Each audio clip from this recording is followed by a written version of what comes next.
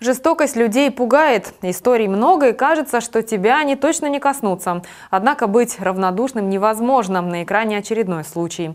Нам рассказали, как животное гнило заживо. Подробности собачьей жизни в сюжете Екатерины Селиверстовой.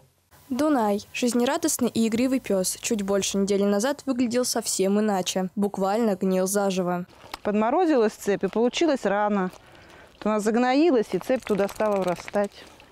Уже видно у него вот атрофировано ни мышцы, ни грудной клетки, ничего нету. Женщина позвонила по работе, которая в этот дом заходила. И ее ужаснуло состояние этого, этой собаки. Вот рана на шее, все это текло с него, запах ужасный. Вот она позвонила мне, сообщила. И мы с ней вместе поехали, забрали собаку.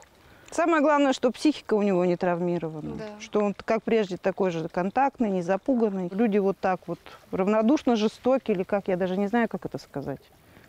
Как можно мимо этого проходить. И этот случай не единственный. Валерия занимается волонтерской деятельностью и ежедневно получает более пяти звонков в день с просьбами о помощи. А проблема остро стоит, их много. Вот их пять, да. а, шесть щенков.